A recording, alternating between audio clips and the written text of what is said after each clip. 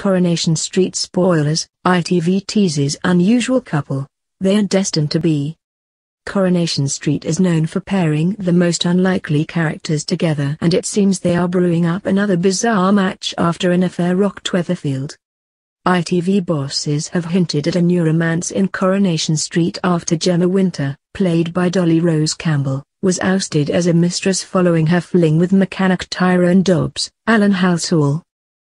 The affair put a strain on Gemma and good friend Chesney Brown's, Sam Aston, friendship, but the pair will get back on track this week.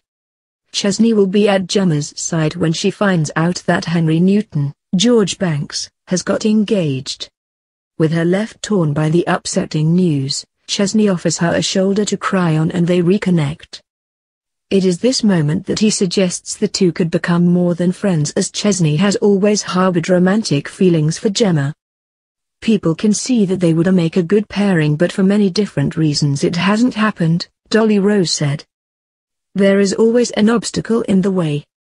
When asked if Gemma has ever wanted to be more than friends with Chesney, she replied, yes, it did go through her mind after she broke up with Henry, but when Fiz said that he seemed embarrassed at the idea, Gemma took that to mean that he wasn't interested.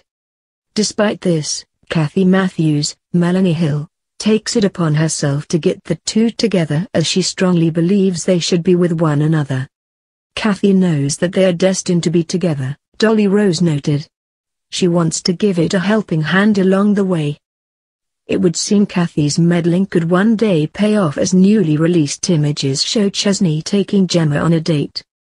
The father of one invites Gemma out for lunch at the bistro so he can confess his feelings for her. Unfortunately, the pair are interrupted by the arrival of Henry, who has been persistent in trying to win back Gemma.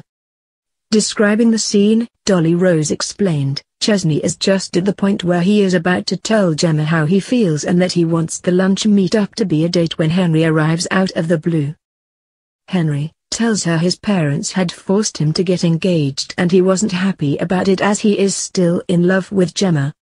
She isn't sure whether to believe him and ends up leaving the bistro and tells him to get lost, but Henry wants to prove that he is telling the truth and that he does care for her she added. In the end he tries to impress her with the grand romantic gesture of offering to buy the Rovers for them both to run as a business. It would be a new start for her, going into business doing something that she really enjoys with a man like Henry at her side. She could never have dreamed that could happen to her. With Henry attempting to win back Gemma will Chesney finally come clean about his feelings for her? Or could he lose her to Henry forever?